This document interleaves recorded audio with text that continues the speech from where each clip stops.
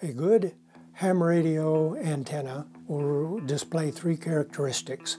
It'll have a decent radiation pattern, it'll be efficient, and it will have a good signal to noise ratio. On the high bands, a single antenna will meet those requirements without too much problem.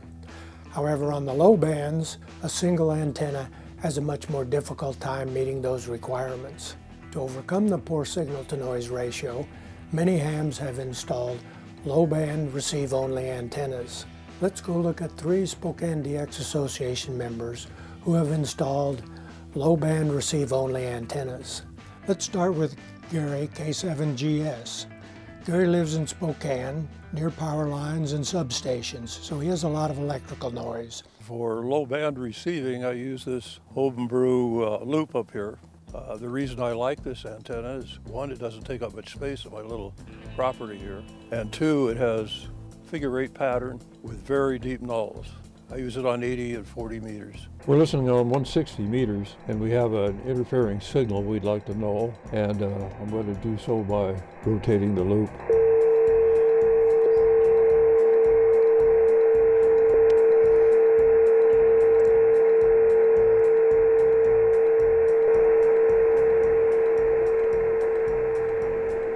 This is the control unit for the, for the loop. Basically it has it contains a bias T. It allows the 12 volts to be varied from here and send it out to the loop itself. With this knob, we vary that voltage, actually tunes the loop. Uh, it covers 160, 60 meters. I do have a, a relay, small relay in there that's hooked up to the push-to-talk line on the radio. So when it goes into transmit, it shorts the antenna out. Also use a little preamp which helps it out. Basically, small RG6 coax, five feet on a side.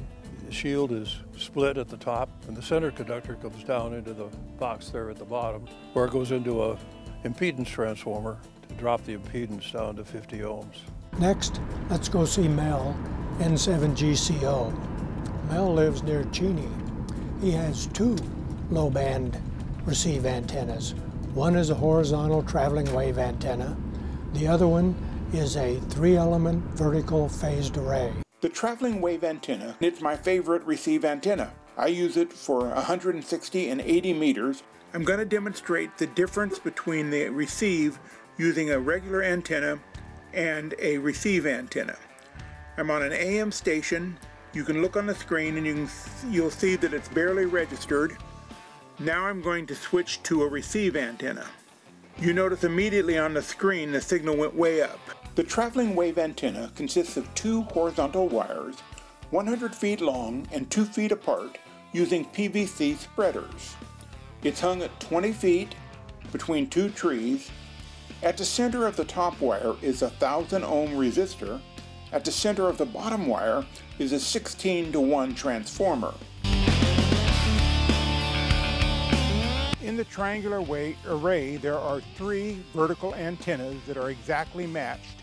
They come down to a amplifier that sends them to the central unit. They have to be exactly the same. Each of the antennas has under it a series of radials.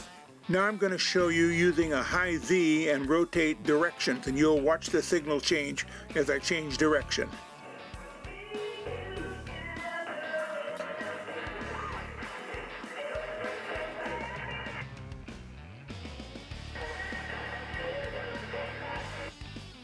You can clearly see that when you use a receive antenna, the clarity and the power of the signal come through much greater, making it much easier to work at DX station.